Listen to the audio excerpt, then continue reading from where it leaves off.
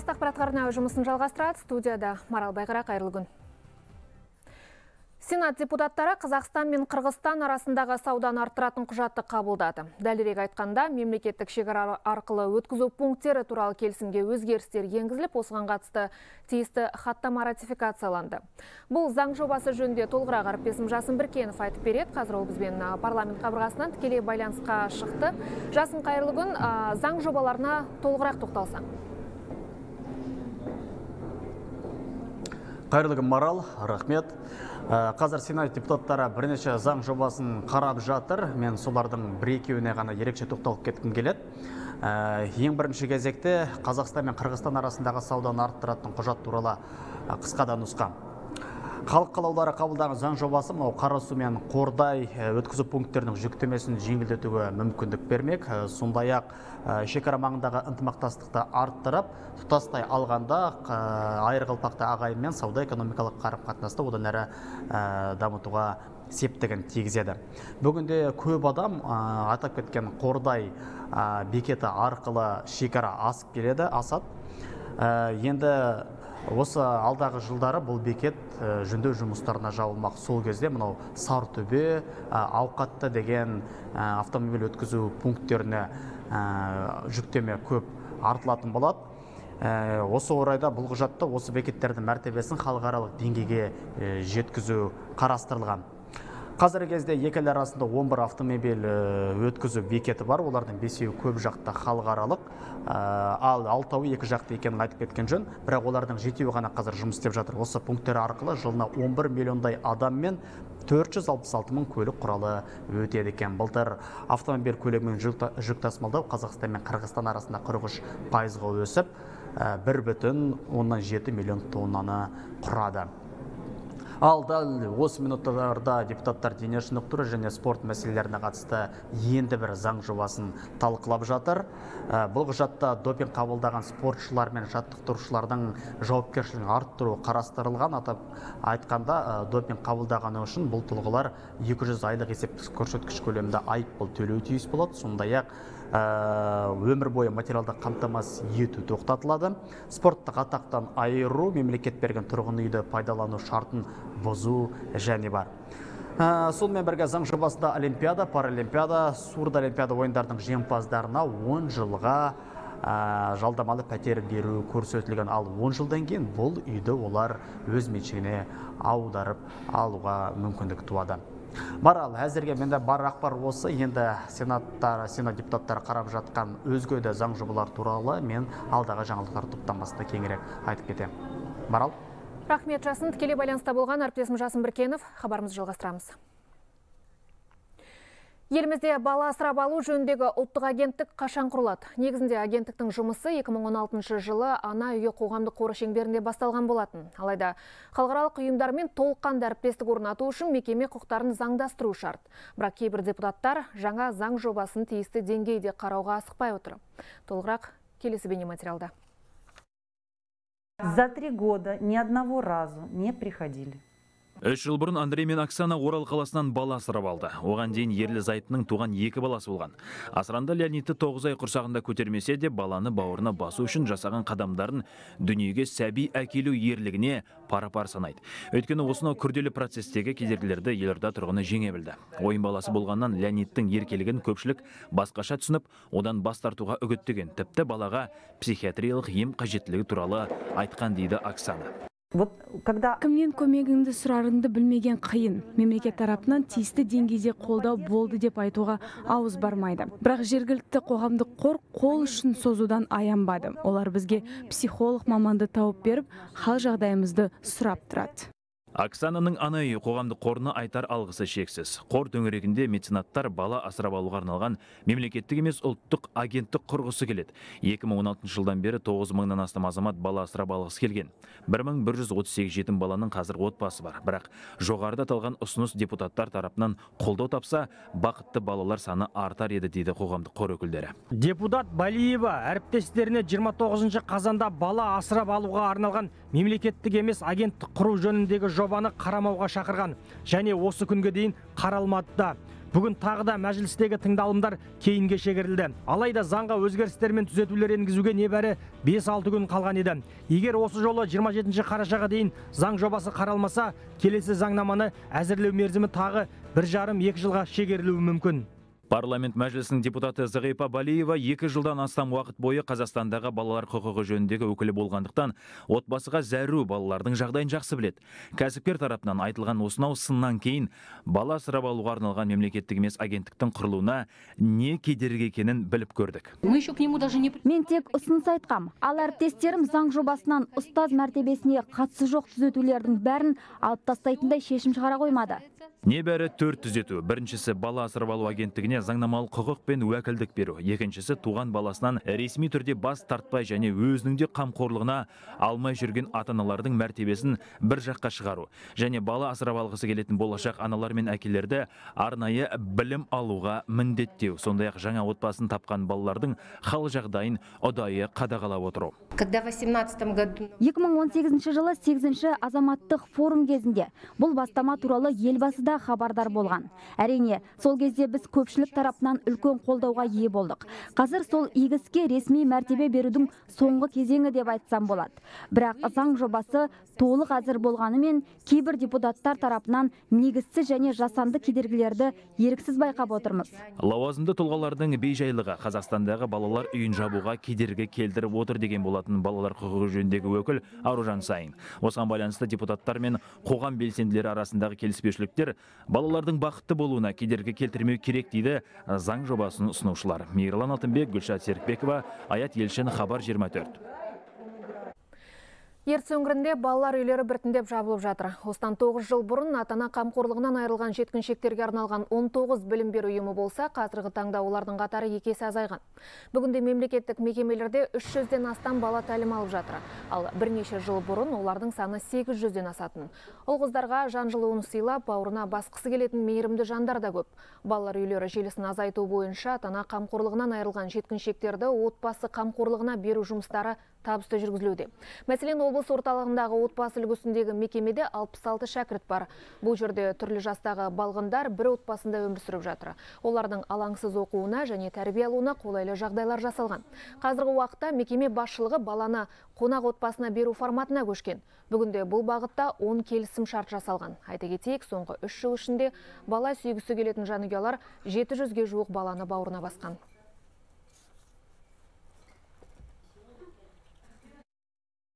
У нас с начала года ушло Биыл екі бала туған ата-анасына оралды, үш баланы асырап алды. Тағы екі жеткіншек жаңа отбасыға орналастырылмақ. Бала асырап алғысы келетін азаматтармен кездесіп, құқықтық кеңес береміз. Құжаттарды жинауға да көмек көрсетеміз. Бүгінде бала асырап алғысы келетін отбасылар жетерлік. Бұл қуантарлық жағдай. Ал Грузияда небәрі екі балалар үйі жұмыс істейді. Оның бірі Тбилисиде болса, екіншісі Каджоред қаласында орналасқан. Ал ертеректе бұл елде қамқорсыз қалған бүлдіршіндерді тәрбиелейтін 47 мекеме болған еді. Бірақ соңғы жылдары мемлекет олардың сан қысқартып, өсіп келе жатқан ұрпаққа отбасы тәрбиесін беруге күш салып келеді. 2000 жылдардың басында Грузияда 5000-нан аса бала балалар үйінде тәрбиеленді. Сол кезде мейірімге мұқтаж бүлдіршіндердің тек 2% ғана тұл жетім болған, ал қалған 98%-ын әлеуметтік жетімдер құрады. Бірақ зерттеу жұмыстары көрсеткендей, мұндай мекемелерде өсетін жаутеңгіздер қоғамның толыққанды мүшесі ретінде қалыптаса алмайды екен. Осыған байланысты шенеуніктер ата-анасының қамқорлығынан айырылған балалардың тәлім тәрбиесіне жеті көңіл бөле бастады. Себебі балалар өз бетінше өмір сүруге дайын емес болып шықты. Бұған қоса алған білімдері де өте төмен екені анықталды. Сондықтан осы бір түйткілді шешудің жаңа жолдарын қарастыру туралы шешім қабылданды. Бүгінгі таңда Грузияда 2000-ға жуық бала мемлекеттің қарауында. Олардың басым бөлігін отбасылар асырап алған. Тағы 450-дей бүлдіршін отбасы үлгісіндегі балалар үйінде тәрбиеленіп жатыр. Ал 80 бала ескі типтегі жетімдер үйінде өсіп келе жатқан мүмкіндігі шектеулі жандар. Сондықтан жергілікті билік өкілдері қазіргі уақытта балалардың биологиялық ата-аналарымен тығыз жұмыс жасап жатыр. Яғни мемлекет балалардың өз жанұяларына оралып, қаржылай қолдау көрсетуге барын салуда. Бірақ Гөрже елінде бала асырап алудың машақаты көп. Для Грузии это проблема. Бұл Грузия үшін өткір мәселе, себебі қамқорсыз қалған балалардың саны елімізде осыншалықты көп болған емес. Десе де оларды бауырына басқысы келіп жүргендер де жеткілікті. Грузияда жыл сайын 250-ге жуық бала жаңа отбасын табады. Ал перзент асырап алуға ниеттілердің қатары мыңнан асады. Ғани Мұқаш, Юлия Тужилкина, Хабар 24, Грузия Тбилиси. Ал Әзербайжанда бала асырап алу процесі енді электрондық жүйе арқылы жүргізіледі. Балалар үйінен бүлдіршіндерді қамқорлыққа алғысы келетіндер арнайы порталда тексеруден өтуі тиіс. Соңғы дерекке қарағанда қазір жүзден астам өтініш тіркелген. Олардың арасында шетелдіктер де бар. Әзербайжанда бала асырап алудың жаңа моделі бұған дейін болған келеңсіз оқиғаларды азайтуға бағытталған. Балаларды қамқорлыққа алғысы келген отбасылар алдымен арнайы сайтта тексеруден өтеді. Осы арқылы лайықты жанұялар анықталып, шараның ашықтығы қамтамасыз етіледі. Dekabr 2018 yil tarixli dövlət başçısının müvafiq fərmanı ilə Баланы асырап алу істері қарашаның бірінен бастап еңбек және әлеуметтік қорғау министрлігіне берілген. Бұл салада реформалар жүргізіліп, жаңа жүйе енгізілді. Оның артықшылығы қамқорлықтан айырылған балалар мен оларды асырап алғысы келетін жандардың бірыңғай электрондық есебін жүргізуінде. Қазір бала асырап алу бойынша жаңа заң жобасы парламенттің қарауына берілген. Бірақ министрлік осымен бірге оларды қамқорлыққа алғысы келетін отбасыларды тексеруге арналған портал ашқан. Онда азаматтардың өтініштері тіркеледі. Onların məlumatları yoxlanıldıqdan sonra onlar uçota al alınaraq növbəti mərhələyə. Біздің жүйе бала асырап алғысы келетін азаматтар туралы ақпаратты өзі іздеп табады. Тексеруден кейін олар тіркеліп келесі кезеңге өтеді. Біз олардың баспанасы бар жоғын қарап, сұхбат өткіземіз. Онда бұл азаматтар мен олардың таныстарының балаға деген көзқарасы сараланады. Сынақтан өткен ата-аналарға бір айлық тренинг ұйымдастырылып, олардың міндеттері баламен қарым-қатынасы түсіндіріледі. Осындай процесстен кейін ғана өтініш берушілер балалармен кездесе алады. Әзербайжанда бала асырап алғысы келетін шетелдік азаматтарға да осындай тәртіп қолданылады. Ғани Мұқаш, Шафак Алиева, Айгүн Гасан, Хабар 24, Әзербайжан, Баку.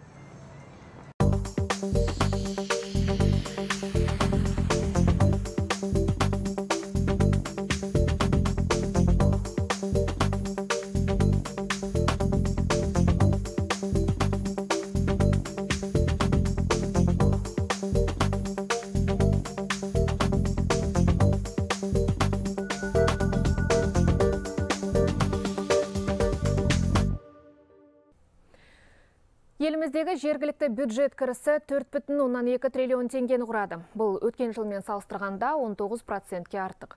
Тақырыпты экономика жаңалықтарының шоушысы Мерей Мұратхан қызы тарқатады. Мерей, сөз кезек өзіңізде. Рахмет Марал, бұл ретте айта кетейін, өсім еліміздің барлық өңірлерінде байқалған тек елордада емес. Сәлден кейін жалғастырамын, армысыздар.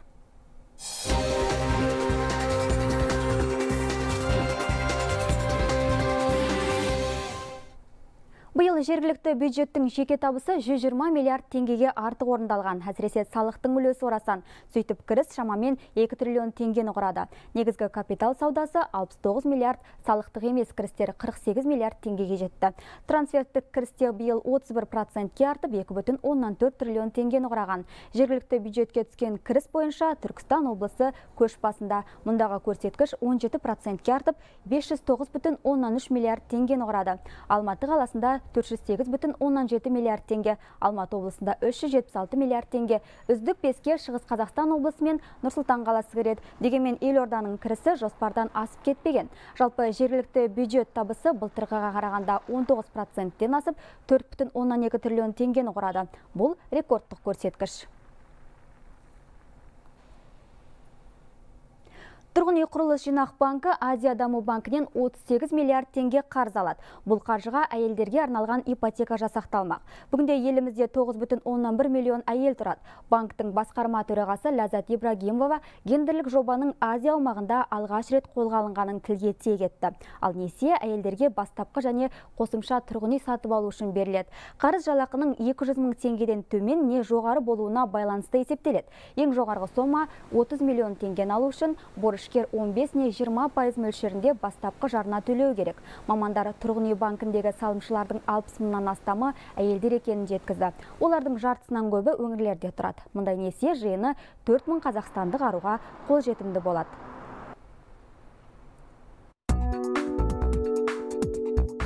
Қазақстанда 9,1 миллион әйел тұрады. Оның ішінде 4,4 миллионы жұмыс істейді. Олардың жартысы өз отбасыларын дербес қамтамасыз етеді. Бұл ретте әйелдер бұрынғысынша орташа есеппен ер адамға қарағанда үштен бір бөлікке аз жалақы алады табыс деңгейінің төмендігі олардың үй сатып алу үшін қол жетімді несие алуы ер адамдарға қарағанда қиын екенін көрсетеді. Сондықтан біз азия даму банкімен бірлесіп қазақстандық әйелдерді қолдауға оларға тұрғын үй несиелеуге қол жеткізуді кеңейтуге шешім қабылдадық. Және азияда алғаш рет осындай гендерлік жобаны іске қосамыз.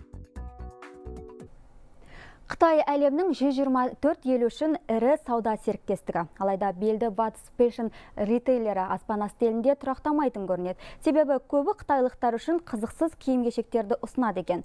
Мұны мамандар да растады, брендтер трендті қуамыз деп Азия халқының ерекшеліктерін ескеруді ұмытқан сыңайлы. Баға нарығы да қытайлықтардың көңілінен шықпайды екен. Азоя компаниясының атқарушы директоры Дон айтуынша, батыста орта тапқа арналған баға Қытайда арзан болып алады әрі аспан асты елінің тұтынушылары өнімнің сапасына аса мән береді. Олар белді өнім деп таныған тауар үшін ақшасын аямайды дейді мамандар. 2025 жылы қытайлықтардың люкс тауарларға деген сұраныс артады.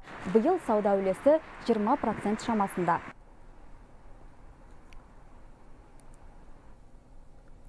256 миллион доллар. Таяу шығыста алаяқтар көшірме бренд сөмкелерді сатып осынша табыс көруге ниеттенген. Жоспарды біріккен араб әмірліктері мен қытайлық полиция бұзыпты. Олар белгілі брендтерді сөмкелерді қолдан жасап шығарған тәртіп сақшылары бірнеше жасырын өндіріс ошақтарын анықтап тексеріс жүргізді. Нәтижесінде 28 мың көшірме тауар табылған. Негізінен луи виттон мен шанель сынды брендтер көшіріліп өндірілген екен. Өнімдер гуанчжоуда шығарылып дубайға жеткізілген. Кейін люкс тауарлар арзан бағамен дистрибьюторларға таратылыпты.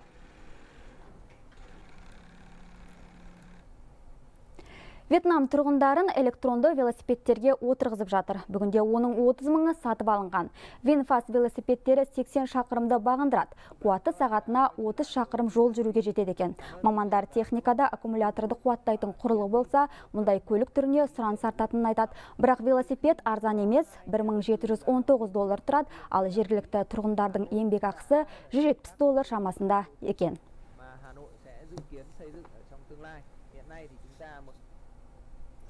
Ал Қазақстандағы қор биржасында доллардың орташа бағамы 387 теңге 37 тиынды құрайды. Мендегі ақпараттар легі осындай болды. Экономикамыз қуатты, әр күніміз шуақты болсын. Марал сөз кезек өзіңізде. Рахмет Мерей, хабарымызды жалғастырамыз.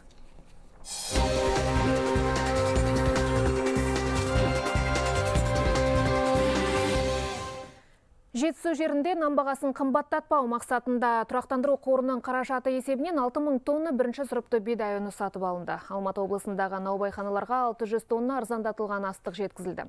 Өңірде жергілікті атқарушы билік пен наубайханалар арасында 40-қа жуық келісім жасалған. Бұл шара келер жылдың мамыр айына дейін жалғасады. Сонымен қатар 17 түрлі әлеуметтік тауардың бағасын тұрақтандыру бағытында бірқатар жұмыстар атқарылып, тиісті келісімдерге қол қойылып жатыр дейді мамандар.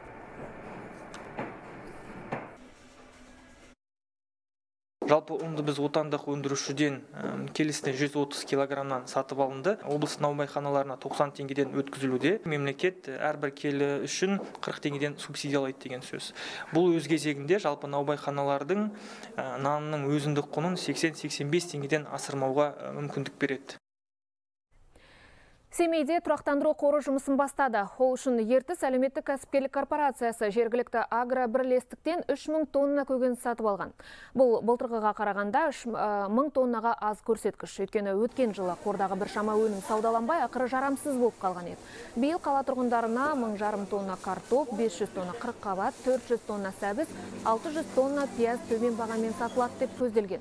Осы мақсатта қаладағы қырық сауда нүктесімен келісім жасалды. Яғни өнімдерге 10% проценттен аспайтын үстеме қосылып, баға 77 теңгеден аспауы тиіс. Мысалы қырық қабат тоқсан сегіз теңге деп айтатын болсақ ал қазір тұрақтандыру бағасы жетпіс жеті теңге сол қырық қабаттың енді сондықтан да бағаның өзі мына жерде ақырындап енді төмендей бастайды деген мағынаны білдіреді.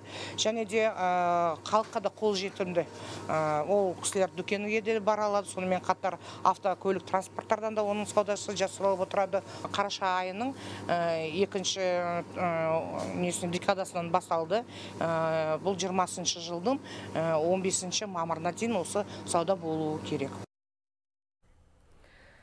Бүгін еліміз бойынша бірыңғай азаматтарды қабылдау күні. Жергілікті билік өкілдері тұрғындарды жеке-жеке қабылдап өтініш тілегін тыңдайды. Атқамінерлер мен қарапайым халықты байланыстыратын шара өңірлерде қалай өтіп жатыр. Бұл туралы бізбен тікелей эфирге Петропавлдан шыққалы тұрған тілшіміз Айдарбек Айтмұхамбетұлы айтып берсін. Айдарбек қайырлы күн. Ел жұрт қандай сұрақтармен жүгініп отыр? Қайырлы күн марал. Армағайын біреудің үйі жоқ ал біреудің үй салатын жері жоқ. Сұрақтар сан алуан әдетте әкімшіліктің табалдырығын тоздырып кабинеттеріне кіре алмайтын қарапайым жұрт бүгін кез келген басшыны сұрақтың астына ала алады. Николай погодин атындағы орыс драма театрында бүгін спектакль емес азаматтарды бірыңғай қабылдау күні болып жатыр. Міне екінші қабатта қарапайым үстел мен қарапайым орындықтарда барлық басқарма басшылары полицейлер прокурорлар және де тіпті құтқарушылар да отыр. Таңертең халық көп болды. Қазір халықтың нөпірі кішкене саябырсыды. Сондықтан кейбір шенеуніктер орындарын тастап үзіліске шығып жатыр. Міне мына жерде денсаулық сақтау басқармасы және де білім басқармасы отыр. Басқарма басшысы гүлмира райымбековна хабар 24 телеарнасы біз тікелей эфирдеміз. Сізге бүгін қанша адам келді? Қандай сұрақтар бойынша? Екі адам келді. Біреулері мектеп бойынша жаңа қамқоршылық кеңестің жұмысы бойынша оларға түсініктеме анықтама берілген болатындағы және де жөндеу жұмысы бойынша жамбыл ауданынан тұрғындар келіп осы жерде мектепке жөндеу керек. Келесі жылы сәбит мұқановтың 120 жылдығы болады. Соған қандай жұмыстар жүргізіліп жатыр деген сондай пікірталас болды осы жерде. Не осы екі адам келді әзірге. Нешеге дейін отырасыз осында? Түске дейін. Сұхбатыңызға рахмет. Дегенмен басты рөл облыс әкімінде жиналған жұрттың көбі өтініш тілегін тікелей құмар ақсақаловқа қойғысы келеді. Қазіргі уақытқа дейін оның қабылдауына елу шақты адам жиналған. Міне солардың бірін тыңдап көрейік не туралы айтып жатыр екен. Остаются на всю жизнь вот эти последствия. Они 5% всего. 5% я могу показать вам статью. Я везде все прошел все посмотрел. Как его лечить, как 5% всего детей полностью излечивается, понимаете, 5%, 95% остается на всю жизнь. Я же не могу своего ребенка куда-то засунуть и жить. У меня семья распадается. Уже они не могут, они, мы как бичи живем, мы как бичи, у нас там ничего нет. У нас один диванчик и все. Никто нас этого не понимает. У меня нет средств снимать квартиры нормально. Давайте мы значит, посмотрим, значит, каким я образом, значит, как в рамках, региона. Я в рамках, дальше, я в рамках закона, в рамках закона мы должны значит, найти механизм решения этой проблемы, так ведь, да? Так, я согласен. Значит, я поэтому согласен. давайте мы еще раз вот, э, вот посмотрим, как вам помочь в этой сложной Вот ситуации. вопрос. Она действительно сложная, Сложная. она непростая, непростая, но вместе с тем мы понимаем, что значит, нужно каким-то У нас образом помогать. правовое, Хорошо? гуманитарное государство. Кедергі жасамай ақ қояйық. Жалпы осындай қоғамдық қабылдаулар премьера емес. Ә, бұған дейін де облыс әкімінің бастамасы бойынша осындай шаралар әр 90 сайын өтіп тұрады. Ә, бүгінгі күнге дейін бес рет ұйымдастырылып 800 адамның өтініш тілегі тыңдалды. Бүгінде біраз азаматтың жеке мәселелері тыңдалып өз шешімін табады деген үлкен сенім бар. Мендегі бар ақпарат осы. Марал сөз кезегі өзіңізде. Рахмет ә, Петропавл қаласынан студиямен тікелей байланысқа қосылған әріптесім Хайдарбек Айтмұхамбетұлы. Хабарымызды жалғастырамыз. Солтүстік Қазақстан облысында жеке секторда орналасқан тұрғын үй толығымен өртеніп кетті. Төтенше жағдай Аққайың ауданының орталығы Смирнов ауылында болған. Құтқарушылар оқиға орнына жеткен кезде баспананың шатыры жанып ортасына құлаған. Алдын ала болжам бойынша от пештен шыққан. Жалпы айта кету қажет, биылғы жылдың 9 айында өңірде 35 адам өрттің құрбаны болды. Бұл өткен жылдың осы кезеңімен салыстырғанда 26 процентке көп. Қазіргі таңға дейін біздің өрт орында жұмыс істеуде бірақ үйдің иесін таба алмай жатырмыз көршілердің айтуы бойынша үйдің иесі 65 жылы тумасы үйдің иесі сол өрттің үйдің ішінде қалып қоюға мүмкін өртпен уже бәрі жан. Тек қана нелері қабырғалары қалған. Ақтауда балабақшада зорлық көрген балалардың ата-аналары тәрбиешілерге кешірім берді. Екі жақта медиаторлар көмегімен ортақ шешімге келді. Бұл туралы Маңғыстау облыстық сотының баспасөз қызметі хабарлады. Оқиға биыл жазда қаладағы балабақшалардың бірінде болған. Тәрбиешілер балалардың ойнауына мүлде тыйым салған және тыңдамаған баланы қинап, оларға зәбір көрсетіп бірнеше сағат бойы орындықта, орындықтарға отырғызып қойған. Үлкендердің бұл қатесін 4 жасар бүлдіршіндердің бірі ата-анасына жеткізген. Кейін баланың анасы балабақшаға шағымданып, бейне жазбаларды көрсетуді талап етті. Бейне жазба арқылы кішкентай баланың шағымы дәлденді. Сот үстінде екі тәрбиеші мен бала күтуші қылмыстық кодекстің 140 бабымен айыпталады. Бір қызығы айыпталғандар 3-4 баласы бар көп балалы аналар. Бұл қылмыстық іс бойынша жаңа үш тәрбиешіге қатысты сотталушыларға қатысты жәбірленушілер кәмелетке толмаған балдардың ата аналары екі жәбірленуші кешіруіне байланысты татуласып қылмыстық істен қылмыстық жауаптылықтан босатылып қылмыстық іс қысқартылды. Медиация тәртібімен медиатордың қатысуымен. Қызылорда облысында полиция бөлімінің көші-қон қызметінің бастығы паралды деген күдікпен ұсталды. Ал солтүстік Қазақстан облысында белгісіз біреулер кәсіпкерді қорқытып 175 миллион теңгесін алып кеткен. Толығырақ алдағы топтамада.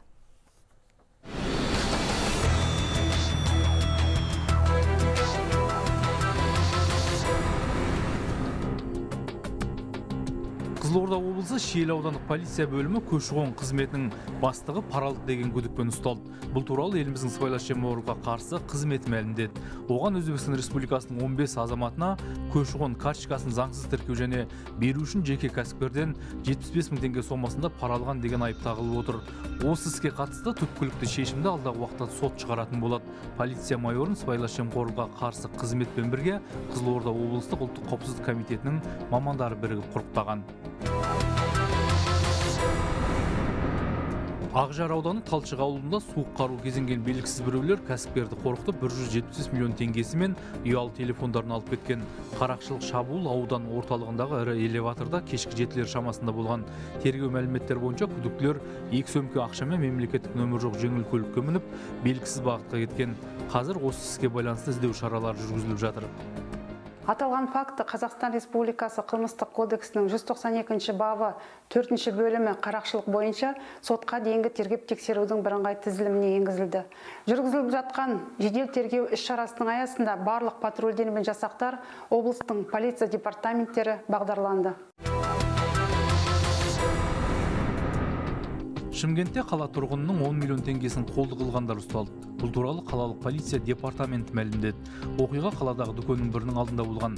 Көлігін дүкен алдындағы тұраққа қалдырған азамат автокөлігіне қайта келсе салондағы ақшасының жоқ екендігін білген.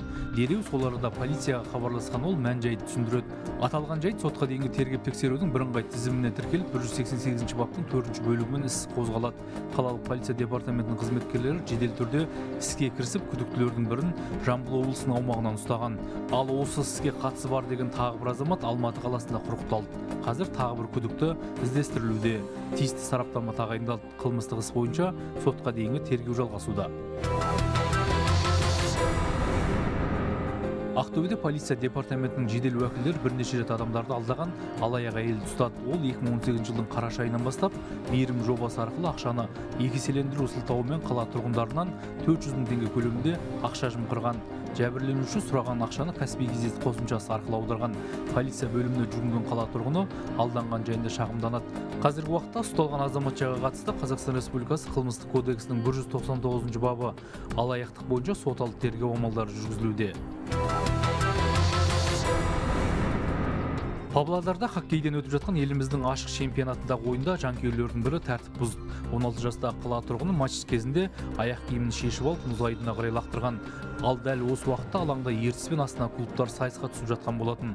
Елді өзіне қаратқан азамат қазақстан республикасы қылмыстық кодексінің 434 бабы бойынша әкімшілік жауапкершілікке тартылды. Жасөспірімнің ата анасына 5 айлық есептік көрсеткіш бойынша айыппұл салынды.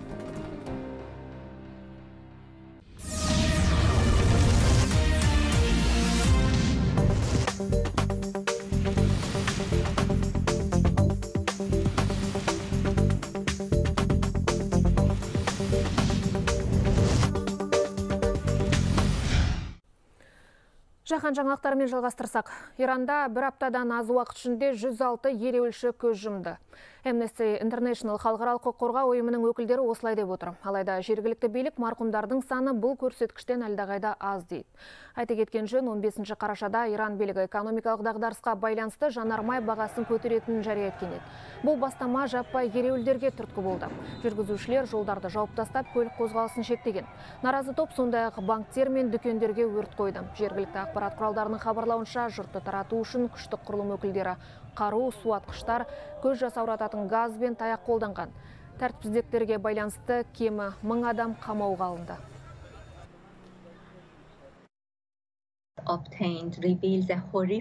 Бізге жан түршігерлік мәліметтер келіп түсіп жатыр. Өткен жұмадан бері иранның 21 қаласында 106 ереуілші өлді деген мәлімет бар. Өкінішке орай марқұмдар саны одан да көп болуы мүмкін. Кейбір ақпарат бойынша 200 адам мерт болған. Бірақ біз мұны нақтылай алмай отырмыз. Себебі елде ғаламтор желілері бұғатталған. Австралияда алапат орман өрті дес берер емес. Жолындағының бәрін жайпап жатқан жал енді оңтүстік Австралия штатының ең ірі қалаларының бірі Адалаидаға қауіп төндіре бастады. Куәгерлердің таспаға таратқан видеоларынан тілсіз жаудың шаһарға қаншалықты жақындап қалған байқауға болады. Қазір аймақта елуге тарта өрт ошағы тіркелген. Осыған байланысты жергілікті билік қауіптің ең жоғарғы деңгейін жариялап отыр. Естеріңізге сала кетейік, Австралиядағы орман өрті өткен айда басталған еді. Соңғы мәлімет бойынша тілсіз жау осы уақыт уақытқа дейін алты адамның өмірін қиған. Бұған қоса қызыл жалын 300-ге жуық тұрғын үйді тып-типыл етті. Грекия билігі Лесбос, Самы және Хиос аралдарындағы үш ірі мигранттар лагерін жабу туралы шешім қабылдады. Афины оның орнына келімсектерге арналған уақытша орталықтар құрмақ. Оларда босқын мәртебесін беруден бас тартылып, еліне қайтарылатын мигранттар орналастырылады. Айта Грекияның бұл лагерлеріндегі жағдай талай мәрте сынға алынған болатын. Себебі мұнда шамадан тыс көп кірмелер орналастырылып, санитарлық жағдай нашарлап кеткен. Бұл тұрғындардың наразылығын туғызды.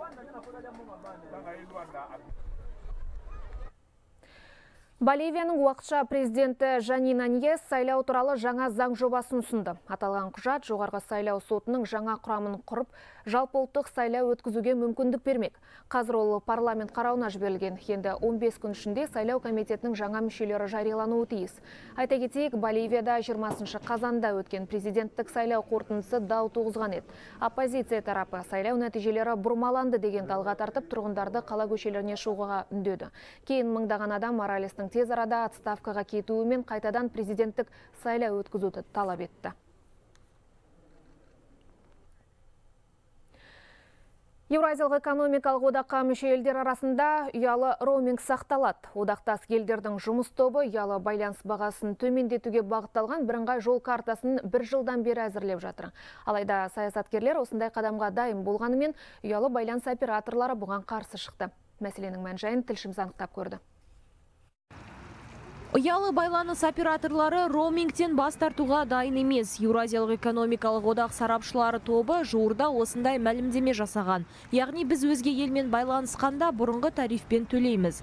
Ол ел ішіндегі қызмет бағасынан бірнеше есе артық. Компаниялар өзара есептесудің ортақ жүйесін құру туралы келісе алмай отыр мобильный операторы зарабатывают по-разному. Ұялы байланыс операторлары әртүрлі жолдармен пайда табады. Егер Беларусь компаниялар табысының негізгі бөлігін қызмет беру бағасы құраса, ресейліктер нарығының ауқымы арқасында пайда тауып жүр. Тұтынушыларының саны 10 есе көп.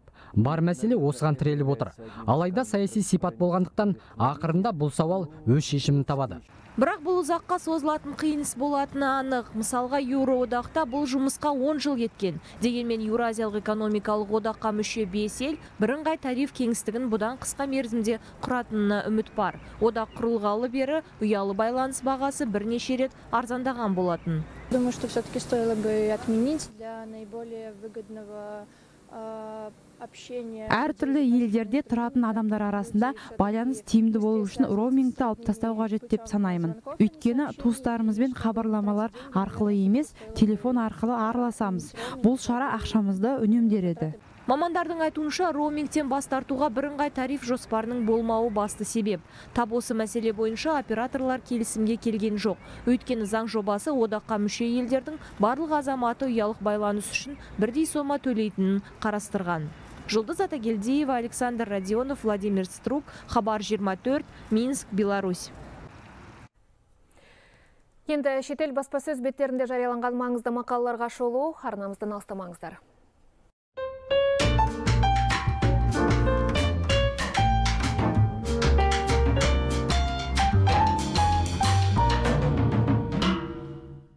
Латын америкасындағы барлық елдердің экономикасы өзара ұқсас болып келеді. Бұл туралы фолха де сан паулу газетінің тілшісі андрес риваролла жазыпты. Әлемде болып жатқан құрылымдық өзгерістерді талдаған стокгольм университетіндегі латын америкасын зерттейтін профессор бұл елдердің бақуатты мемлекетке айналу үшін тың жол ұсыныпты. Мақала авторының дерегінше кубадан бастап чилиге дейінгі аймақтағы мемлекеттердің тағдыры ұқсас. Олардың ешбірі де қандай бағыт ұстанғанына қарамастан шикізатқа деген тәуелділікті жеңе алмай келеді. Бұл аймақтағы елдер экспорттайтын тауар түрлері саусақпен санарлық. Бұдан бөлек латын америкасы елдерінің күні экспортты қабылдаушыларға да қарап қалды. Импорт тауарларының бағасы құлдырап әлде қабылдаушы нарық өз шартын қойған кезде осалдық танытқан латын америкасы елдерінің бұл талапқа көндігуден басқа амалы жоқ. Ал алға жылжу үшін өткеннен сабақ алу керек дейді автор. Бұл ретте өндірістегі қосымша құнды өсіріп өзінің тұрақты нарығын дамытқан дұрыс. Егер венеция билігі тезірек қамданбаса қаланың құрдымға кетуі мүмкін. Бұл туралы немістің зейт басылымынан оқи аласыздар газет ұсынған деректерге сүйенсек бір аптаның ішінде венециядағы судың деңгейі бір жарым метрлік межеден үш рет асып кетіпті. Жалпы шаһардағы жағдай 1872 жылдан бері бақыланып келеді. Сол кезден бері су тасыған кезде де оның деңгейі қысқа уақыт ішінде бұлай көтерілмеген екен. Ауа райы өзгерген сайын болашақта мұндай құбылыс жиілеп қарқын ала түседі. Жер бетіндегі температура неғұрлым жоғарылаған сайын соғұрлым жауатын жаңбыр мөлшері артып теңіздің деңгейі көтеріледі. Осының барлығы венециядағы су тасқынын күшейткен болуы мүмкін. Бұған қоса жаһандық жылынудың қарқынына байланысты өзінің бастапқы бағытынан ауытқыған су ағысы да септігін тигізген болуы ықтимал дейді климатолог. Планетадағы температураның 2 градустан жоғары көтерілуіне жол бермеуді көздеген париж келісімі сақталса жағдайдың жақсаруы да мүмкін. Алайда жағалауда орналасқан гамбург шанхай гонконг немесе нью йорк секілді ірі қалалардың басым бөлігі теңіз деңгейінен бірнеше метр төмен болатындығына дайын болуы керек деп жазады автор. Француздық слейт басылымының тілшісі дафне лепортуа отбасын құрып бала сүйгендердің өмірі өзгеріске ұшырайтыны туралы жазыпты. Оның ойынша отбасылық өмір біздің қоғам қастерлейтін құндылықтарға сай келе бермейді екен. Қоғам алдында даралану адамның өзіне инвестиция салуға келгенде өзімшілдіктің алуан түрімен шектесуі мүмкін. Бірақ бала дүниеге келгенде өмірдің мәні өзгереді. Бұл өзгеріс өзгелерге көңіл бөлуді уақытты бос жоғалту деген ұғымды насихаттайтын неолиберализмнің талабына сай емес дейді әлеуметтанушы клод мартин. Оның пікірінше қыз жігіт болып жүргендегі қарым қатынастың үйленгеннен кейін құрдымға кететіндігі туралы жаңсақ пікірдің қалыптасуына отбасылық өмір туралы ата ана болудың машақаты туралы жасанды стереотиптердің әсері мол екен. Алайда іс жүзінде бұлай емес дейді автор. Яғни көпшіліктен даралану әркімнің өзінің құқығын жария етіп өз өмірін қалай жоспарлағысы келетіндігіне байланысты.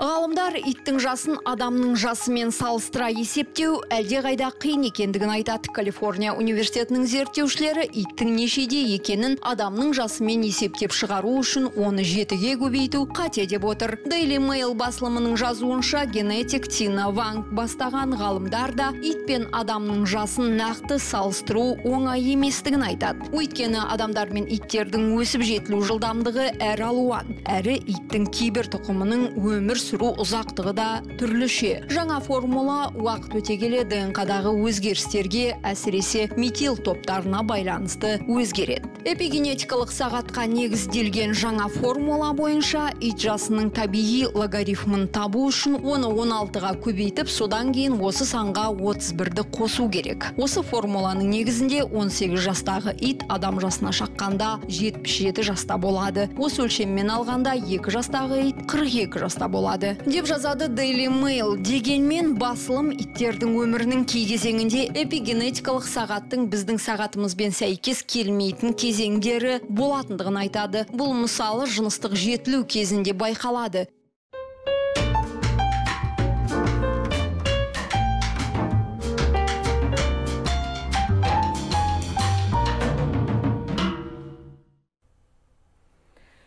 Екі мың жиырмасыншы жылы қарағандыда тұңғыш рет өрт сөндірушілер мен құтқарушылардың халықаралық чемпионаты өтеді. Оған жиырмаға жуық мемлекеттің спортшылары қатысады деп жоспарланып отыр. Ауқымды шараға дайындық қазірден басталған. Кенді шаһарда өткен конференцияға 16 елдің өкілі жиналып ұйымдастыру жұмыстарын пысықтады. Олар чемпионат өтетін шахтер стадионына барып инфрақұрылыммен танысты. Мұнда байрақты бәсекені өткізуге барлық жағдай жасалған. Халықаралық стандарт талаптарына сай келеді дейді мамандар. Айта кету керек биылғы чемпионат ресей елінде өткен болатын. Онда қазақстан құрамасы екінші орын алды.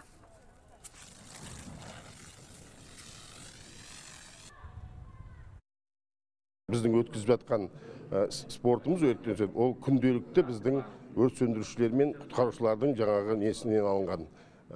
Күндегі жұмыс күнделігінен алынған спорт бұл. Просто өте динамика жоғары берілген. Неге десеңіз мына неге мұнараға төрт этажды шығу үшін 30 метр жерден жүгіреді 12 метр жоғарымен. Соның өзі 12-13-14 секундта жүгіру керек.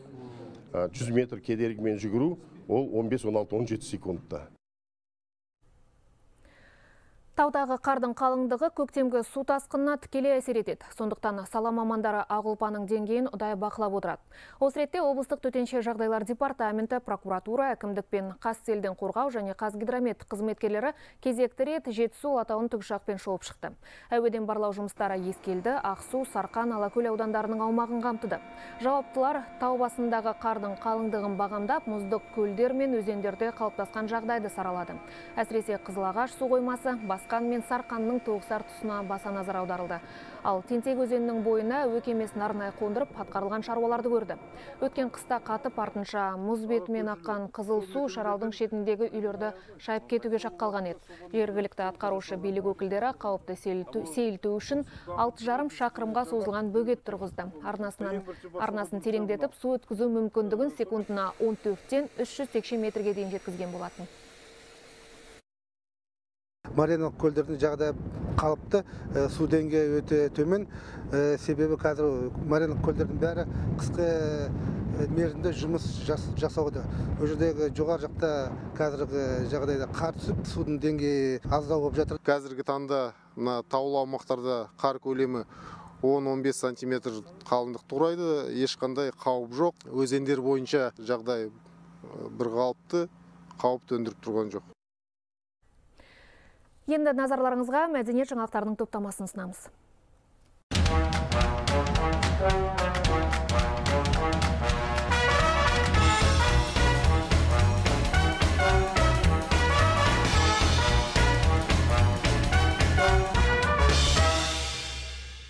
Елордада New Music Generation 2019 бірінші халықаралық композиторлар байқауы өтті. Шығармашылық додада бағын сынауға 115 қатысушы ниет білдірген. Из 24 стран Байқауға ақш, Канада, Мексика, Чили, Жапония, Қытай, Малайзия және тмд мен Еуропаның барлық дерлік мемлекеттерінің өнерпаздары қатысты. Мұндай ауқымдылық тіпті көп жылдар бойы өткізіліп келе жатқан беделді байқауларда бола бермейді. Ал ұсынылған партитуралардың деңгейі әлемдік сахналарға лайықты деп толық сеніммен айта аламын. Композиторлардың шеберлігін Қазақстан мен шет елдердің беделді музыканттары бағалады. Олардың арасында Қазақстанның жүз жаңа есімі, ұлттық жобасының жеңімпазы Рахатби Әбдісаген, Чайковский атындағы Мәскеу мемлекеттік консерваториясының профессоры Юрий Каспаров пен Тетикс ансамблінің негізін қалаушы және көркемдік жетекшісі Михалис Параскакис бар. Конкурс сәтті өтті. Шараның ұйымдастырылу деңгейі өте жоғары болды. Маған бірінші байқаудың қалай өтетіні қызық болды. Шынымды айтсам, қатысушылардың деңгейі орташадан аспайды деп ойладым. Бірақ барлығы өз шеберлігімен, кәсібилігімен таң қалдырды. Қазақстан композиторлардың әлемдік деңгейдегі үздік байқауын ұйымдастыра алды. Байқау үш жас тобы бойынша өтті. Жас композиторлардың шығармашылығын қолдауға және дәріптеуге бағытталған шарада қазақстандық композиторлар, оқушылар мен студенттер жоғары кәсібилігін көрсете алды дейді мамандар. Айта кетейік, New Music Generation 2019 бірінші халықаралық композиторлар байқауының жеңімпазы болып, италиялық композитор Аньякара Геда атанды.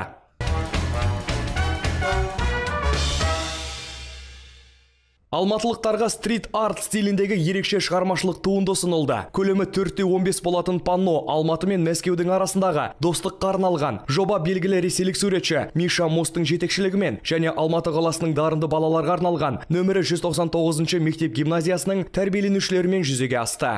Здесь с пальмой стоит... Э... Мына жерде пальманың қасында менің ғимаратым тұр, ал мына жерге мен киіз үйдің суретін салдым. Шығармашылықпен мен үш жасынан бастап айналысамын. Бастапқыда бейнелі өнері үйірмелеріне барып жүрдім. Кейін шығармашылық мектеп іздедім. Нәтижесінде қазір оқып жүрген 199 мектеп гимназиясына келдім. Менің сыныптастарымның барлығы суретшілер, ал мені үздік оқушы болғандықтан осы жерге қабырғаларға граффити салуға шақырды. Жобаны аяқтауға жас суретшілер үш күн жұмсаған. Панноның эскизіне натуралды нұсқасын салып бастаған авторлар суреттің үлкендігін көріп таңғалыпты. Десе де көп саспай қолға алынған идеяны аяғына дейін жүзеге асырып, нағыз өнер туындысын жасай алған.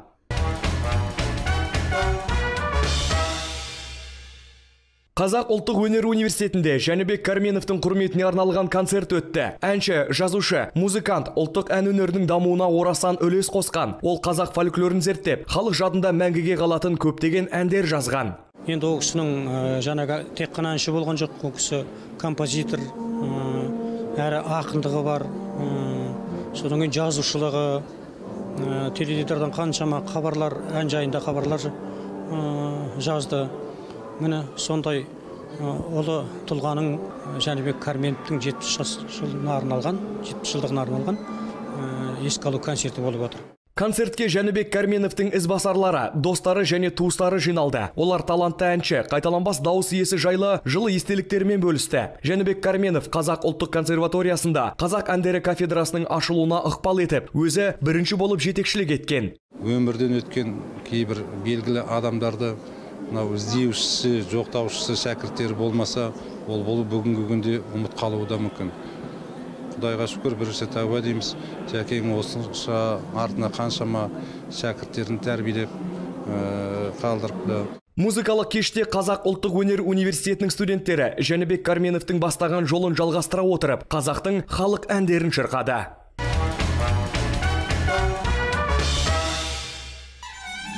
Бағдарлама соңында жақын күндері өтетін шаралардың афишасын ұсынамыз. 22 қараша күні Наталья Сасатындағы балалар мен жасөспірімдерге арналған мемлекеттік академиялық орыс театрында Пушкин лайв спектаклінің тұсаукесері өтеді. 22 қараша күні Станиславский атындағы Қарағанды мемлекеттік орыс драма театрында Трам-тарарам қойылымы ұсынылады.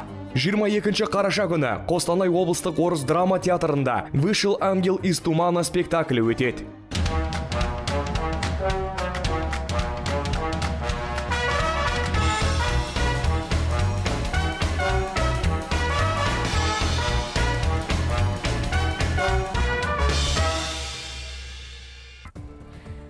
Әзірге айтарымыз осы. Баста ақпаратқа арна қосылу болсын.